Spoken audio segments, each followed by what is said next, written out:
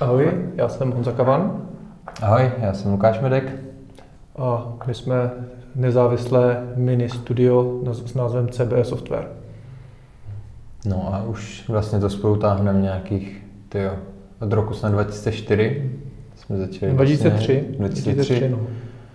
Jsme tak nějak začínali jakoby s tím, s tím vývojem se oťukávat. A to jsem byl ještě na Gimplu vlastně. A vlastně potkali jsme se, eh, potkali jsme se díky mému otci s Honzou, protože eh, vlastně eh, můj otec je učitel vlastně bývalý Honzou, respektive pedagog na, na JAMu, na Janečkové akademii muzických umění a potkali jsme se ve smyslu toho, že oni vlastně měli nějakou, nějakou kapelu, nějaké uskupení, kde se jim vlastně hodilo jsem tam nějaké video, nějaká animace a to já už tehdy jsem se o něco takového pokoušel, takže ta prvotní spolupráce nebyla herní, ale byla v podstatě jakoby na nějaké umělectější bázi, nebo umělecké bázi nějakých multimediálních představení. No já, když bych to vrátil v čase hodně, hodně, hodně dozadu, protože to je možná dobrý si říct, tak já jsem vlastně když mi bylo asi tak třeba pět let, tak jsem měl sen, že se stanu spisovatelem v životě. Takže jsem měl, ještě jsem neuměl psát, tak jsem měl psací stroj a psal jsem hrozně depresivní věci. A moje maminka je vždycky prostě tajně vyhazovala, protože měla hrozný strach z toho, co tam píšu. A pak mě to přešlo, pak jsem hrozně moc let dělal hudbu, ale do toho vlastně jsem chtěl dělat hry a to jsem chtěl dělat, protože jsem měl počítač Commodore 64. Ten jsem se naučil asi docela slušně ovládat, protože jsem se naučil assembler a rozjel jsem několik herních projektů, které samozřejmě nikdy nevyšly, protože mě bylo v té době prostě strašně málo let a vůbec jsem neměl představu. No a vlastně, když jsem přišel tady do Brna na výšku, tak jsem, jako a, a byl takový mezičas, kdy jsem hrál koncerty a vůbec mě to vlastně nezajímalo. Jsem říkal, jo, tak prostě už to jako byla nějaká dětská touha. No a když jsem, se, když jsem přišel jsem do Brna, tak nějak jsem se k tomu vrátil. No a vstoupil jsem do takového strašně podivného projektu, co dělal nějaký řek. A to měla být nějaká adventura, jaká prostě point and click hra, ale ona byla hrozně jako depresivní a tam se nějak prostě děli nějaké, ale takové jako prvoplánové věci. Tak a tam jsem se seznámil vlastně na tomhle projektu uh, s Laurou McDonald, což je vlastně někdo, kdo s náma spolupracuje právě úplně od začátku. A my jsme tehdy, když jsme z toho projektu oba dva vystoupili, že jsme říkali, že to je prostě jako, že to není nic pro nás, tak uh, jsme si jako vyměnili několik nějakých mailů a rozhodli jsme se, že uděláme hru. A to je ten okamžik, kdy já jsem vlastně sednul a napsal jsem vlastně takový, takový scénář, ten, když dneska by se to jako pro hru použít nedalo na hru, která se jmenovala Destinies. A v podstatě napsal jsem strašně moc textů, a tak jsme si to vyměňovali, bavili jsme se o tom. No a v tom okamžiku vlastně, protože jako Lukáš byl jediný člověk, o kterém jsem věděl, že umí dělat grafiku a mně se to v té době strašně líbilo. Dneska se mu to nelíbí, co dělal, ale mně se to v té době líbilo tak jsem se ho zeptal, jestli prostě by takovou hru nechtěl dělat, jo, že prostě je tady, tady nějaký plán. A my jsme založili vlastně firmu Wildboar Productions, která vlastně nikdy nic neudělala, ale bylo to, bylo to normálně jako právní nějaká entita v Americe. A začali jsme prostě poměrně intenzivně tvořit hru Destinies. Já jsem primárně teda grafik, nebo jsem dlouhou dobu takhle byl, teďka už nějak jsme eh, dodělávali ty aktuální věci, tak už se to přelilo i v nějaký game design a tak, ale ta grafika je furt takový můj jako primární obor. A já jsem se k ní dostal už na základní škole, když jsem vlastně v šestý třídě, což mi bylo snad 12 let. Eh, tak jsem seděl s jedním strašně inteligentním spolužákem, a až jako geniálně inteligentním, který už v té době si programoval vlastní, vlastní renderovací engine a tedy. A on mě ukázal 3D Studio Max, což je animační modelovací nástroj, a tehdy ve verzi snad 3. Mě to, mě to jako hrozně uchvátilo tehdy, tak jsem si ten software sehnal a začal jsem jim něco dělat, protože ještě předtím, než teda se mě, mě uchvátilo to 3D, tak jsem trávil eh, měsíce a měsíce tím, že jsme měli doma starý počítač a kamarád měl vlastně lepší počítač a hrál na tom hru, která se jmenovala Rost 2140 což byla naprosto geniální strategie. V té době se to hrozně líbilo, ale já jsem vlastně neměl počítač s mechanikou, takže jsem to nemohl zahrát. Ale tak jsem tu hru miloval, že jsem si prostě ve stařičkém Autodesk animátoru začal dělat jakoby snímkovanou animaci téhle z té hry, která prostě měla pak několik tisíc snímků a bylo to v podstatě jedna mise jakoby té hry, ale jakoby ručně animovaná snímek po snímku. A potom s tím 3D tam už se to vezlo, no. to mě bavilo strašně moc a trávil jsem tím v podstatě veškerý svůj volný čas. No a ten první projekt je Destiny, což teda je velice jakoby smutná záležitost. Kdy jsme na tom strávili opravdu hodně času, hodně jsme se samozřejmě naučili a dokonce jsme to zkoušeli restartovat několikrát ten projekt, ale vždycky to skončilo nějakého technologického dema, který jako do dneška si myslím, že je docela pěkný. Jakoby ty poslední pokusy, že by z toho mohla být stále nějaká jako docela dobrá point and click adventura, ale jako na tu dobu ten projekt byl naprosto gigantický a měli jsme absolutně jako nerealistické představy Eh, co to obnáší, prostě udělat hru. Měli jsme tam prostě popsaný animace nějakých šelem a, a takové věci a to všechno mělo fungovat prostě na 2,5D engineu Wintermute, který uh, jakoby zvládal teda nějaký 3D postavy na předrendrovaným, na předrendrovaným obrázku, ale rozhodně nějaký jako pokročilý, pokročilý 3D věci by se tam nedali, takže my jsme se vlastně jako docela vyléčili z toho. No a když to nevyšlo, tak to bylo vlastně hrozně jako depresivní období, tak jsme s Honzou si sedli a říkali jsme si, že uděláme nějakou jako krátkou hru právě na tom Wintermute engineu, nějakou point and click adventuru, která prostě bude za měsíc hotová a zkusíme ji třeba vydat, nebo ji ani nevydáme. No a tak vznikl vlastně jakoby náš, náš jako debut se jménem Ghost in the Sheet, což byla taková, jakoby, taková černohumorná adventurka v podstatě krátká, my jsme to spíchli za jak dlouho, za půl roku to bylo hotový, no. nebo, nebo no. tak nějak. No a dokonce se nám to podařilo vydat, což, eh, což bylo, což jako pro mě celkem záhada do dneška. A dokonce se nám to podařilo vydat v několika jako jazykových mutací, to znamená... Ve 14, má, ve 14, ve 14 jazycích. To znamená, máme italskou krabici, máme německou krabici, kde teda Němci to asi nehráli ti vydavatelé, takže to pojali jako, že to je čistokrevný horor a na krabici taková děsivá maska prostě z, jak z nějakého sou nebo z nějakého prostě witchcraft hororu, ale přitom to je jako, fakt jako úplně absurdní, absurdní drama, jako ta hra to vůbec jako nereflektovalo, takže, eh, takže jsme se dostávali do takových ještě jako bizarních situací. No a e, paradoxně jako pár lidem se to asi líbilo. Já když si vzpomenu na tu dobu, ono to bylo taková pro nás dost přelomová, to byl rok 2006. A já jsem v, ten, v tom roce letěl do Los Angeles na E3, na E3. A tam právě my jsme měli v té době s nějakým vydavatelem setkání, už jsme měli prostě rozjednáno, už jsme byli před podpisem smlouvy na Destinies. A byla to taková ta situace, kdy my jsme nainvestovali prostě strašně peněz do toho. My jsme tam měli, jestli si vzpomeneš na toho Denise třeba, že jsme tam nějaký externí lidi, kteří pak jako opravdu třeba v tý, do té branže přešli, že dělali na Falloutu a tak. Jakože my jsme tam i takhle jako měli natažený nějaký lidi, kteří vlastně ve finále nám vůbec nepomohli. Ale hlavně ta situace byla taková, že pro mě to byla hrozná deprese, protože já jsem se vlastně vrátil z toho Los Angeles, já jsem tam letěl, kromě toho, že jsem měl nějaký koncerty, tak jsem se prostě vrátil a já jsem tam letěl s tím, že prostě se vrátím a budu mít podepsanou smlouvu a začínáme projekt. No já jsem se vlastně vrátil s tím, že to prostě jako, že ten projekt končí. A my, jak jsme seděli, já se na to pamatuju, to bylo tady v Brně, to bylo v restauraci u Zelený kočky, jsme seděli a bavili jsme se o tom, že uděláme něco, že uděláme vlastně jakoby strašnou blbost. Jo? To byl ten jako záměr, že uděláme prostě něco strašně absurdního, že to bude komedie, ale jako když se na to zpětně dívám, tak to byl takový hrozně sympatický punk. Protože my jsme se vůbec, nám bylo úplně jedno, jaký tam je prostě game design. Nám bylo úplně jedno, jakoby, jak funguje ten příběh. To bylo prostě jako, že tam byly dost šílený nápady který teda naštěstí se do té hry nedostali, někteří se tam dostali, takže takový pelmel tohohle.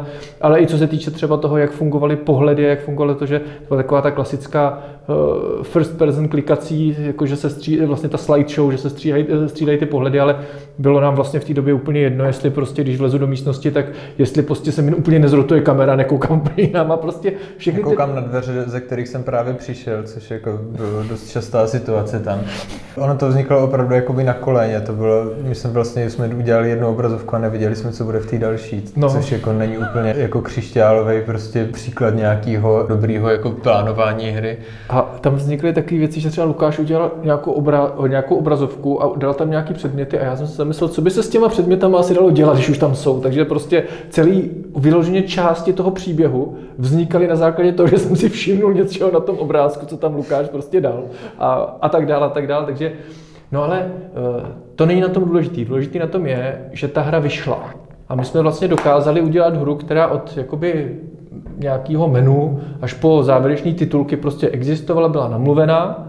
A paradoxně v některých zemích, jako třeba v Řecku, je to stále velice oblíbený titul, což my třeba nechápeme, ale asi pravděpodobně měli podobně zvrácený smysl pro humor, jako máme my, protože ta hra byla i taky velice nekorektní, to byl takový prostě opravdu, jako tam v té době jsme absolutně nic netušili o tom, jak funguje nějaký globalizovaný trh a co to je politická korektnost. My jsme prostě udělali hru a dávali jsme tam prostě všechen černý humor, který nás napadl a všechno, co prostě jsme mohli, jsme tam prostě do té hry dali. Takže to bylo prostě taková jako věc.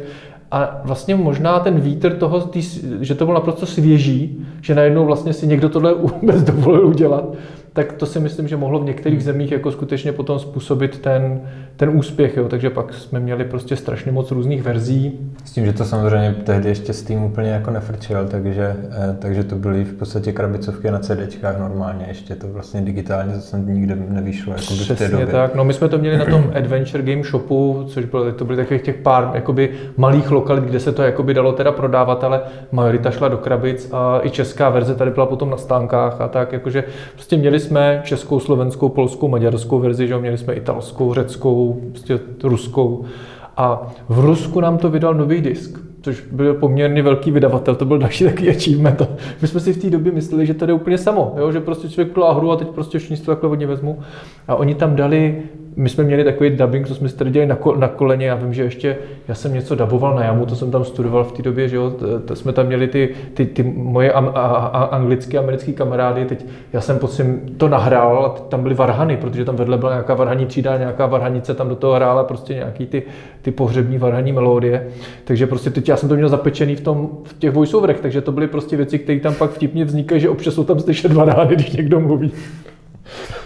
No a najednou to dostal nový disk a dostala ta hra úplně profesionální dubbing. Prostě špičkoví herci to namluvili a bylo to úplně úžasné, takže jako aktuálně ta ruská verze s tím ruským dubbingem je naprosto nejlepší teda, jako musím, musím říct. No. Samozřejmě v té době to byl prostě obrázky proklikávací, takže hra v zamknutém rozlišení 1024 x 768 na vlastně 4 ku 3 monitory, že jo, protože širokoúhlé obrazovky ještě nejeli, nebo nebyly té v oblibě. Rozhodně ne u nás, že jo? Rozhodně ne u nás, ne. No. Takže, uh, takže jako to byl, to byl docela sranda takhle zpětně se na to dívat. A jak jste říkali, že tam máte těch 14 jazyků, si vlastně tak úplně bokem řekl, že jste měli 14 různých vydavatelů, tak tohle jste zháněli jak, že jste takhle jako neznámé studio prostě... No v té době to šlo. V té době to šlo, protože to bylo tak, že my jsme udělali hru a tenkrát v Americe nám to vydávali Tri Synergy, a my jsme tenkrát měli neuvěřitelnou smůlu, jak my jsme takový smolaři herní, protože uh, nevím, jestli jsi slyšel o projektu Limbo of the Lost. Největší krádež v dějinách herního průmyslu v uvozovkách. To byl takový angličan, který udělal gigantickou hru, asi 70 hodinovou, nebo se říká 60 hodinovou, to je jako už mýtický proporce, to má 60 hodinová adventura. A on veškerý pozadí, veškerý asety vytípal z Ačkový her té doby. To znamená z prostě z těch všech her, co vychali, ze systém šoku, prostě úplně napříč. A jenom na to plesnul vždycky nějaký photoshopový filtr. No a teď udělal prostě hru, která měla teda nevím, nějakých 300 pozadí takhle prostě, jo, a do toho, a, a, a do toho tam chodila, her. to byla hra na Wintermute mimochodem, a chodila tam taková postavička, jakoby, jakoby téměř nějaká prostě templateová postavička z Wintermute, že to bylo fakt takhle, ale hrozně dlouhý jako příběh. No a z toho se stala kultovní záležitost už dneska, v té době. Samozřejmě hra vyšla, Tri Synergy to vydali, normálně celá šarže šla prostě do amerických obchodů, jo, do všech těch prostě, jak oni tam mají ty celý ty markety, celý ty vlastně sítě, tak tam to šlo. No a najednou se objevil článek, myslím, že dokonce na Kotaku nebo někde, kde napsali, hele, to je vykradený. A teď se potom začalo jít a najednou všechny sajty začaly psát, hele, tady je prostě průse. Takže ta Tri Synergy v okamžiku, kdy vydala Ghost in the Sheet, tak těsně potom vznikl tenhle problém, oni museli stáhnout celou tu šarži z trhu. Takže my jsme jako od nich na začátku dostali nějaký peníze a pak to najednou celý zase zastavilo. Čili jako Lace Mamba 2 v tomhle tom, ale v té době jako aspoň pochopitelná v tom smyslu, že oni prostě se dostali do neuvěřitelného průšvihu tím, že vlastně všechny ty, všechno to museli stáhnout z trhu. A byli malinký, to byli tři lidi, ten, ten vydavatel.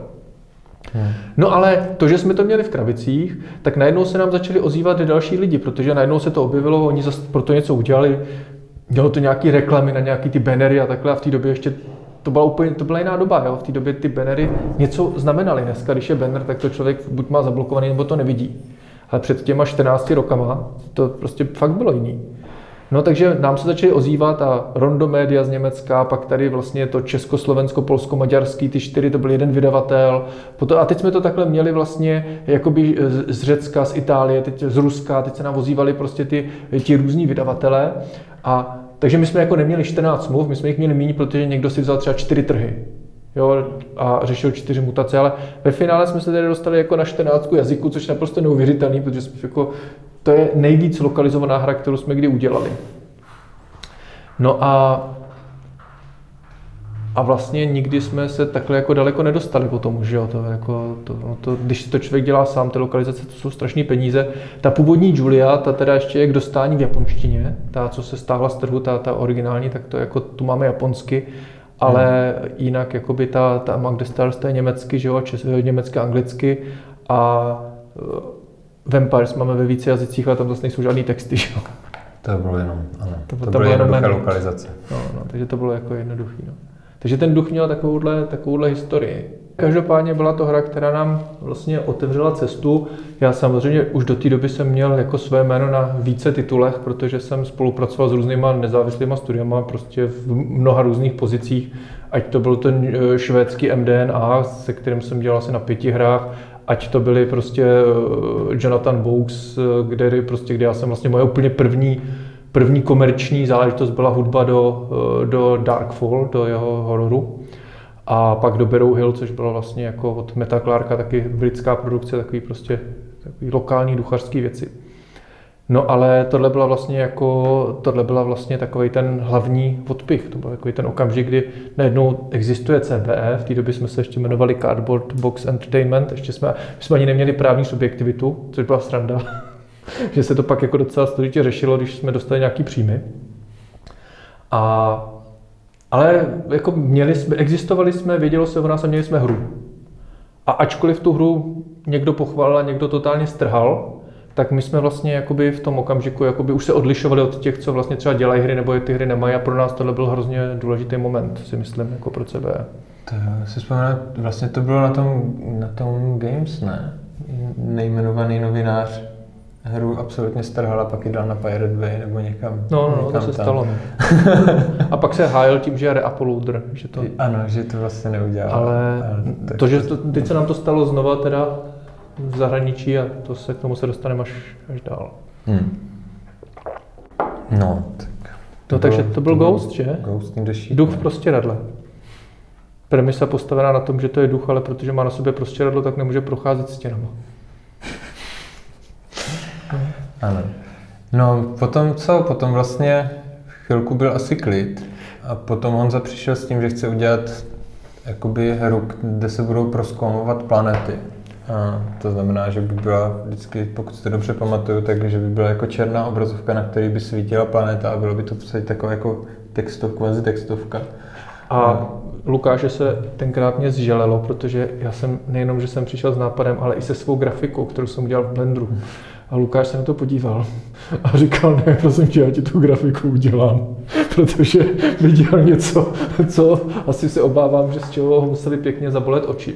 A původně hmm. Julia totiž byla strategie. Ten koncept vůbec nebyl ani adventura, to byla taková textovko strategie, kde šlo o nějaký uh, resource management, trošku jako inspirovaný Dunou. Jo, myslím teď jedničkou dnou, to znamená, že nějaký příběh, ale hodně prostě taková práce s nějakýma surovinama, materiálama, nějaký takový kontext toho prostě, že když se loď má dostat z místa na místo, tak potřebuje na to nějaký suroviny, aby se tam dostala. V podstatě v té době takových her moc nebylo. Jo, se bavíme o nějakém roku 2007 třeba. Ono totiž je pravda, Luke, že my jsme v mezičase dělali na Tale of Hero. Jo, jo. To, a abychom to nevytěsnili, no. tak to jsme dělali oba dva pro Future Games. Podle mého názoru skvělá a hrozně moc podceňovaná adventura, protože Future Games v té době už prostě směřovalo se úplně jako jiným směrem.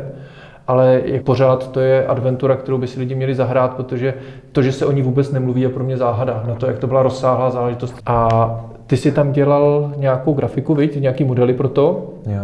A já jsem tam dělal vlastně sound design a Eh, pak nějaký konzultační záležitosti a tak dále. Jsem jako ve finále jsem se do toho namočil trochu víc, ale, ale hlavní moje role tam byla, že jsem dělal vlastně kompletní sound design toho, což bylo docela kumšt, protože to běželo na engineu AGDS, to je ten engine, na kterém běžel posel smrti, což byl takový lepší přehrávač nějakých médií, ale v podstatě jakoby udělat v tom něco bylo poměrně dost komplikované. No, to bylo poměrně jednoúčelově udlané pro toho posla smrti a kdykoliv člověk chtěl udělat něco trošku jiného, tak to tam najednou nešlo, jo? nebo to bylo prostě dost, dost složitá věc. No.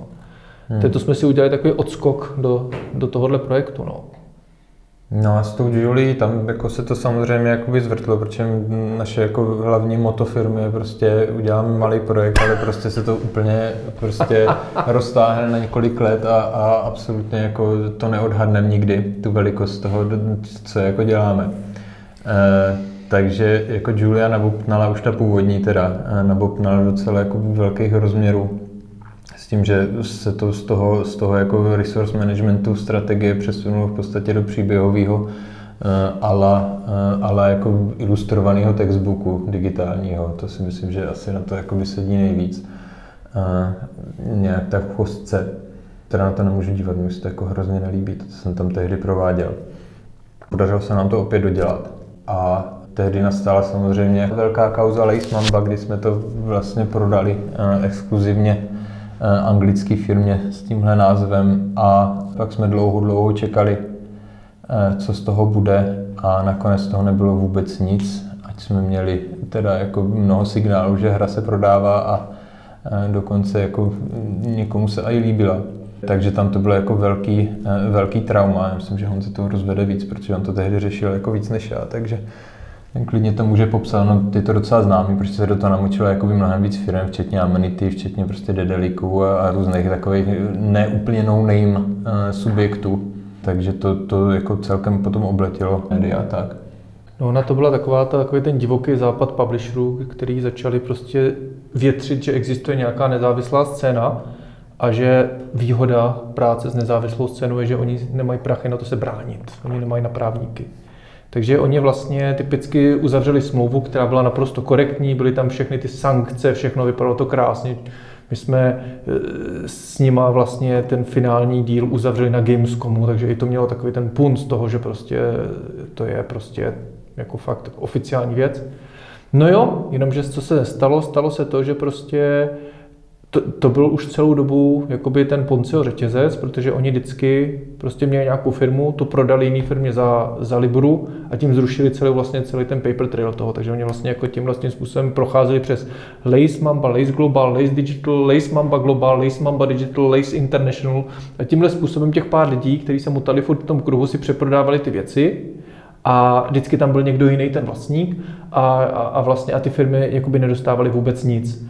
No a já blbec tenkrát jsem se rozhodl, že je super, abychom se nemuseli už starat o to, co bylo po duchovi, že 14 různých entit, teď se všem mají jiný smlouvy, furt to nějak řešit, tak pojďme mít jednoho a ten nám dá spoustu peněz. No tak v finále bylo takový, že jsme měli jednoho a ten nám všechny peníze sebral. No, ano, ano, v podstatě po jako několika měsíčním urgování jsme dostali jako jeden papír, kde bylo prostě nula, nula, nula, no. nic, nikde se nic neprodalo. Když sedm kopií třeba tam bylo. Kopií, no, při, přitom prostě jako ty, třeba z nějakých jako zpřátelených webů, kde se to třeba prodávalo nebo v chodu, tak tam to bylo jasné, že to eh, šlo jakoby do, eh, eh, do neúplně jakoby malých čísel, samozřejmě.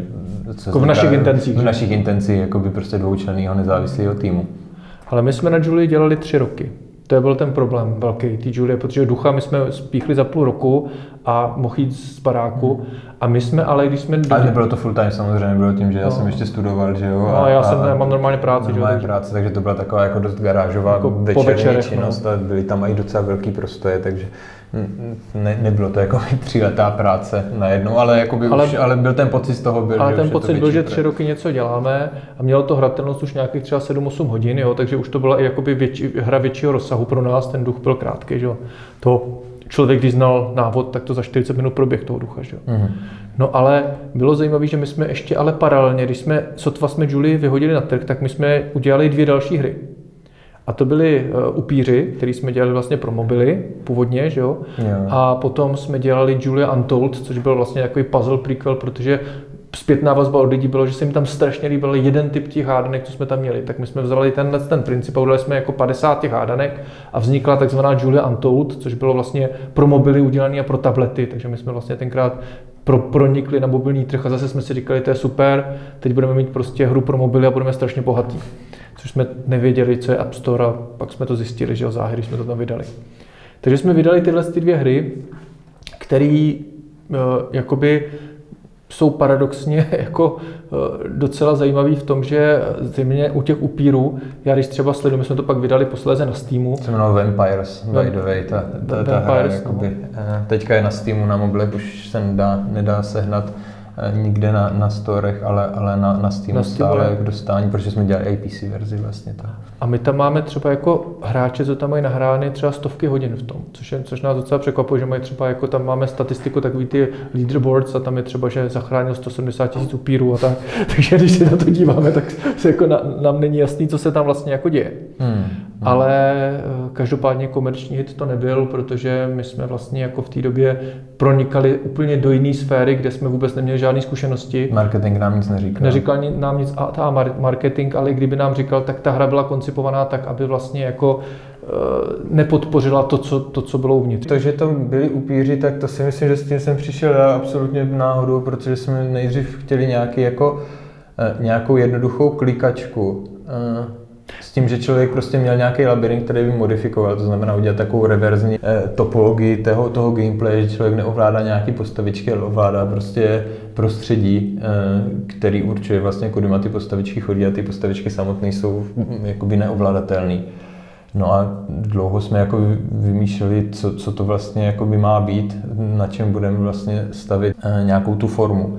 Tam to bylo legrační v tom, že totiž původní verze nebyli upíři. To byly nějaké kostky. Ale ne, byly to děti, co měli díru v hlavě a hořeli a chodili labirintem. Jo, jo, jo. Takže to byla jako první varianta, než se z toho stala taková legrační komedie. A v té době vlastně v CBčku jsme měli ještě Štěpána Mráčka jako programátora, on to vlastně jakoby naprogramoval ty hlavní věci toho, on byl jako hlavní programátor toho projektu. A ta hra byla vlastně z velké části spolupráce Štěpána a Lukáše. Čili jako já jsem v té hře občas jsem do toho kecal, občas jsem říkal, že nějakou věc by bylo dobré třeba udělat trošku jinak, ale neměl jsem na to jakoby až tak velký, velký zásluhy, kromě toho teda, že jsem udělal soundtrack, který se poměrně hezky prodává k tomu, protože je srandovní hmm. a trošku podporuje to, že to je vlastně celý komedie. A princip byl o tom, že upíři jsou prostě už ožralí tou krví a potřebují se dostat do rakve, ale stěžuje jim to několik faktorů. Za prvý lovci, kteří tam nechávají různé pasti a, a, a, slunce, který když se otevře vlastně ta krypta, tak oni vlastně zemřou tím sluncem a tak dále. Čili měli jsme tam prostě e, různý dětky, který měli od znalečky klubu turistů a, a dávali česnek na zem, čímž vlastně jako a když se k ním upír o, přiblížil, tak s jetpackem odlítli pryč a prostě úplně absurdní věci, ale, ale celkově ta hra měla hrozně hezký odpich a hrozně hezký, nebo furt má hrozně hezký šmrnc, ale nemá příběh. Hmm, to byl zásadní problém. No, a tehdy. ta hra má vlastně jako dva, ty, tři problémy. Nemá příběh. Druhý problém je, že eh, Štěpán Mráček je jeden z opravdu nejchytřejších lidí, který já jsem v životě potkal a on má pocit, že prostě, když je něco výzva herní, tak to fakt musí být výzva. Takže tam se prostě stane, že prvních 5-6 levelů je super, a pak najednou přijdou levely, kdy člověk opravdu musí strašně, strašně moc přemýšlet. A najednou to vůbec nejde dohromady s tím, že tam jsou legrační postavičky, vlastně vtipná hra, která má odpich, a najednou se člověk úplně zasekne, protože je to hmm. vlastně pro hrozně moc lidí nehratelný. Najednou vlastně nevědí, jak taky nedohrál třeba. Jakoby ono to fakt bylo, fakt to bylo těžké a to, to, je samozřejmě další zásadní věc. Prostě neprocházelo to žádným jakoby širším testováním jakoby na, na lidech e, jiných. Jo. To jsme vůbec nedělali. To, to, to jsme vlastně vůbec nedělali a to, e, to byl samozřejmě taky jako ten hlavní problém, e, proč, e, proč třeba jakoby se to líbilo na začátku, ale potom prostě jako už to bylo nehratelný, to obtížnosti, jo, takže, takže to vlastně byla, to vlastně byla taková zrada na lidi trošku. No a třetí věc, která tam byla zásadní jako problém, byl, že my, když jsme to pak vydávali na Steam, tak ona ta hra byla postavena tak, že v podstatě uh, nebyla nějakým způsobem modifikovatelná tak, aby se dal použít ten workshop, to znamená, aby si lidi mohli dělat vlastní levely. A aniž by to člověk teda od základu celý přepsal jinak.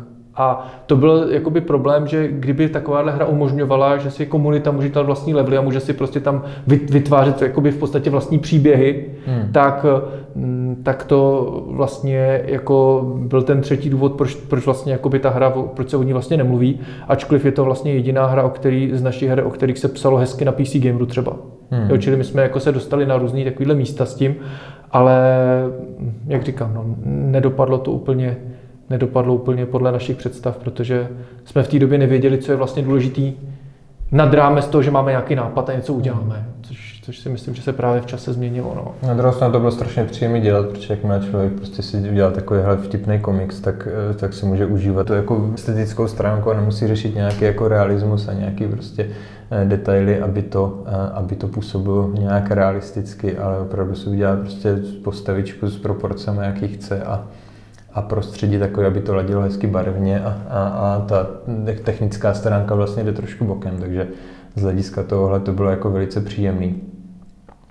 A myslím si, že se na to i dobře jako koukalo potom. Jo, jo, a ono se na to furt dobře kouká právě, že jako to je, ta hra jako by v tomhle tom nezestárla díky té stylizaci, ale kdybychom ji měli nějakým způsobem znovu vykopat, tak bychom museli opravdu úplně se zamyslet nad tím celkově, jak strukturovat ty levely a jak umožnit do toho nějaký, nějaký aspoň základní vyprávění, který tam jako aktuálně chybí a nějak to vlastně dneska to publikum, ty hráči to vyžadují, aby aspoň měli nějakou motivaci, proč teda ty upíry zachraňují. A tady to byl čistě puzzler, že vlastně v podstatě se kliká, mění se topologie.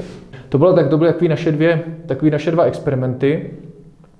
A do toho my jsme tady s Lukášem objížděli různé konference a různé vydavatele a vytvořili jsme několik prototypů a několik nějakých eh, dokumentů a jakoby podle mě tam vzniklo hrozně moc zajímavých a potenciálně eh, úžasných projektů, ale vždycky to někdo někde zaříz. Jo? Vždycky jsme měli prostě, jak jsme jeli třeba do Hamburgu, jsme jeli prostě, tam jsme, to bylo takový to, že byli nadšený z toho, co děláme a pak zase se nám ozvali, že nic. Jo? A takhle my jsme vlastně tímhle, tímhle cyklem pořád procházeli, vždycky někdo byl nadšený, vždycky to vypadalo, že už budeme mít prostě vyřešeno a zase nic.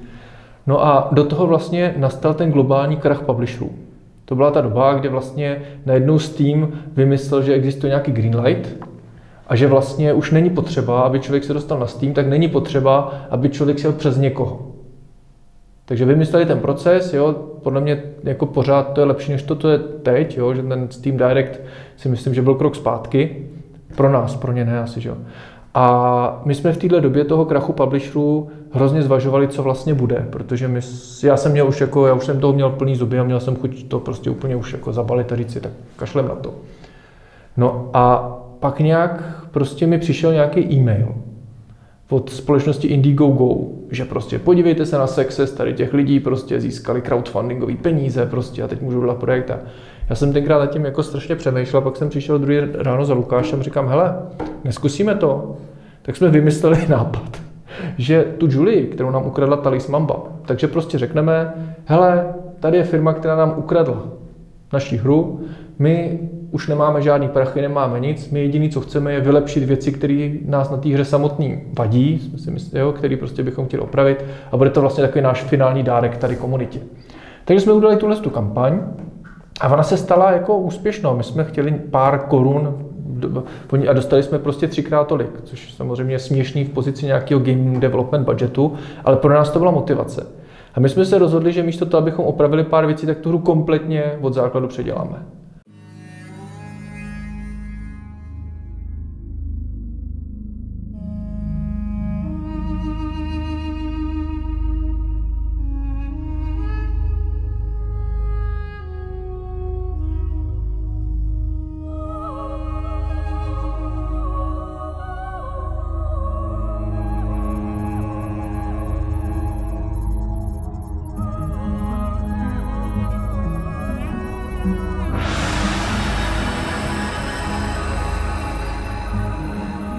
Tak vznikl vlastně náš aktuálně jako velice úspěšný projekt Julia Among the Stars, která vlastně začala získávat docela hezký hodnocení a najednou prostě se s náma začali lidi bavit úplně jinak, protože jsme očividně udělali něco, co chybělo.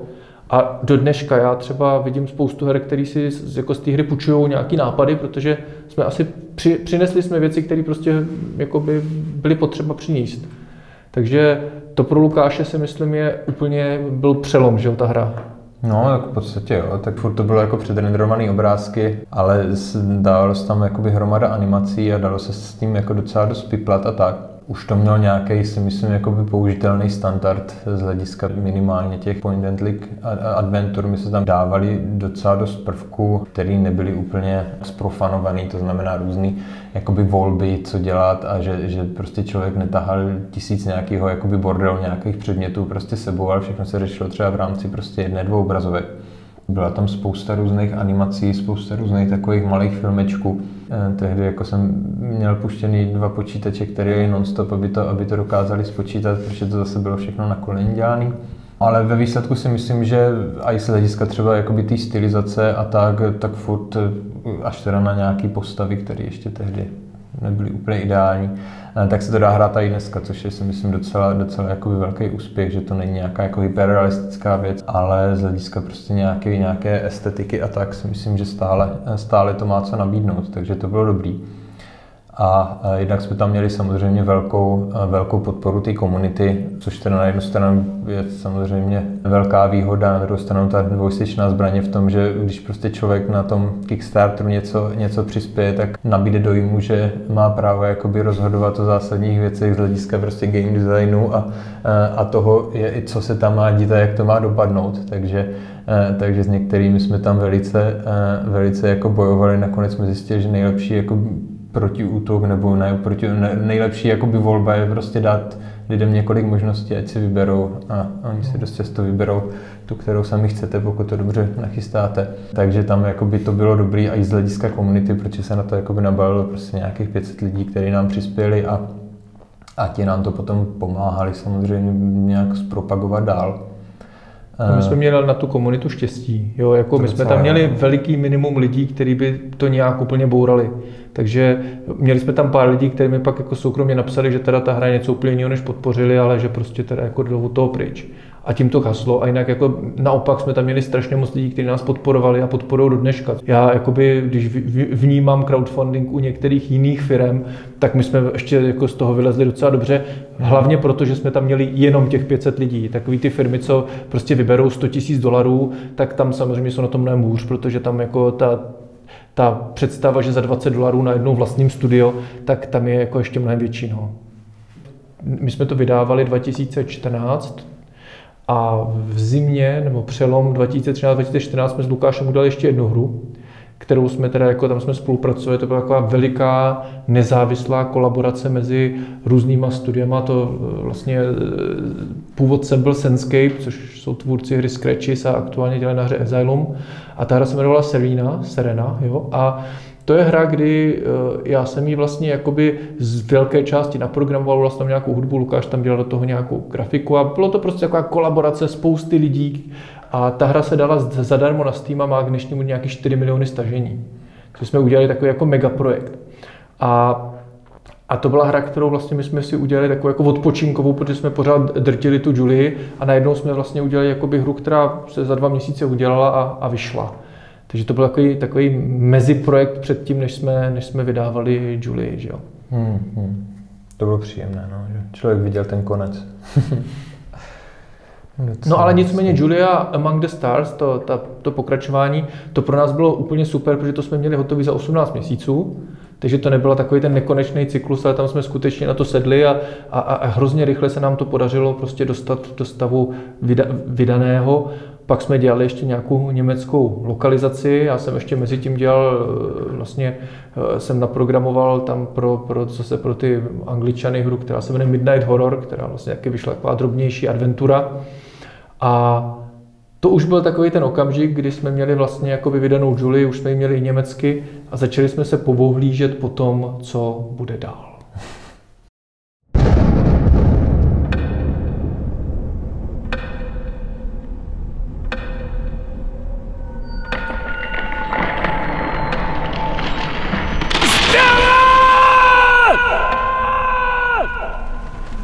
Supposed to be easy. Just track her down again and bring her home. I had no idea how wrong I was, and how far I would really have to go.